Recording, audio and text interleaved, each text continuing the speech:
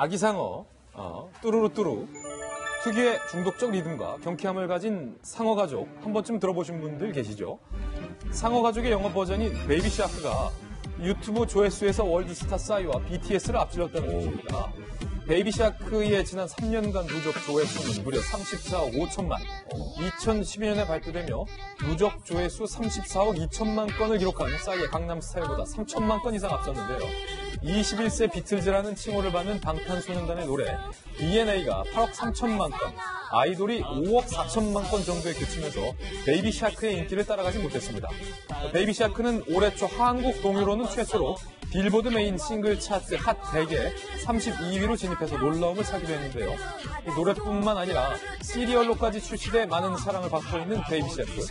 아, 이 Baby Shark를 탄생시킨 국내 startup은요, 지난해 매출 400억 원을 돌파했다고 하는데, 와, 이 신드롬에 가까운 Baby Shark의 인기 정말 놀랍습니다.